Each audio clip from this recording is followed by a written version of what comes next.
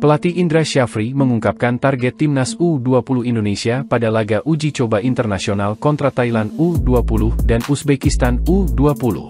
Diakui Indra Syafri, dia ingin melihat kualitas masing-masing pemain timnas U20 Indonesia.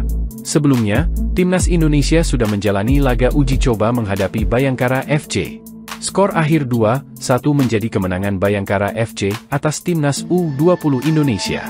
Berdasarkan rencana, Pertandingan versus Thailand berlangsung di Stadion Utama Gelora Bung Karno, SUGBK, Senayan, Jakarta Pusat, Jumat, 26 Januari 2024. Sementara duel menghadapi Uzbekistan digelar di Stadion Madia, Senayan, Selasa, 30 Januari 2024. Dia menambahkan, nantinya masih ada beberapa pertandingan uji coba lainnya yang akan dilewati skuad Garuda Nusantara. Rangkaian pemusatan latihan, TC, ini digelar demi bisa mewujudkan target berlaga di Piala Dunia 2025 Chili. Kini Timnas U20 Indonesia tengah menjalani TC di Jakarta. Sebelumnya, Timnas U20 Indonesia sempat dikirim ke Qatar untuk melaksanakan TC selama hampir dua pekan. Di Qatar, Timnas U20 Indonesia tanpa menggelar pertandingan uji coba.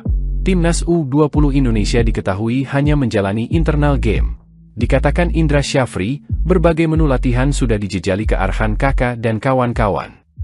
Terima kasih sudah menonton. Silahkan subscribe, like, dan jangan lupa komen di bawah ya bola spotter.